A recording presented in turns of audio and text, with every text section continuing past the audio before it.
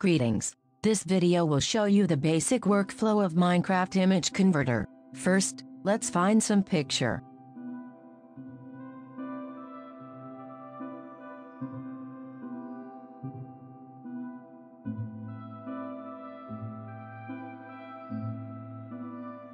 I like this one. After I loaded up my picture, I will crop it and choose output size.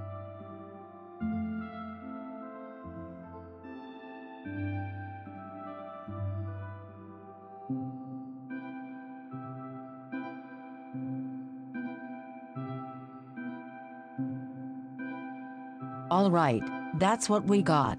Now let's edit our image.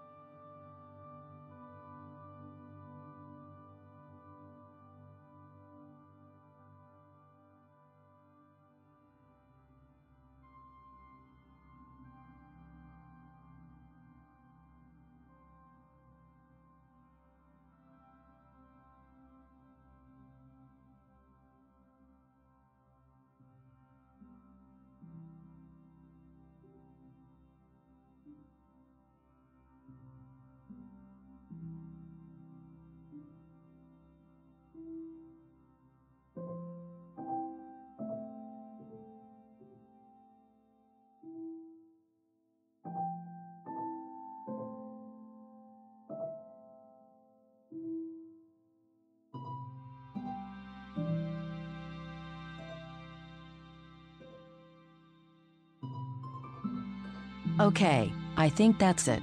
Now we can save the schematics file and go in game.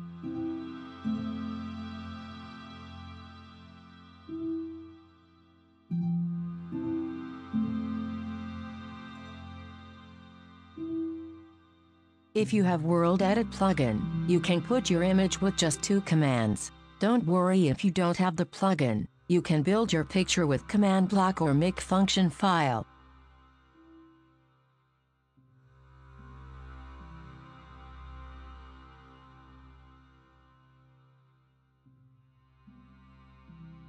Good luck.